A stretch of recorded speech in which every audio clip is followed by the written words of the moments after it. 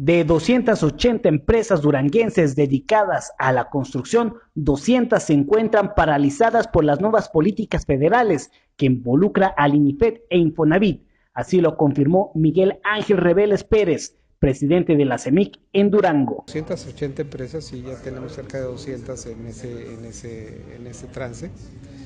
Y es debido básicamente a que eh, eh, los programas de INIFED, o sea, muchas de estas empresas viven de la, de la construcción de escuelas, de mantenimiento, de, de algo de infraestructura hidráulica, de, edificación en fraccionamientos. Entonces, pues Infonavit pues, está paralizado porque quitaron el subsidio.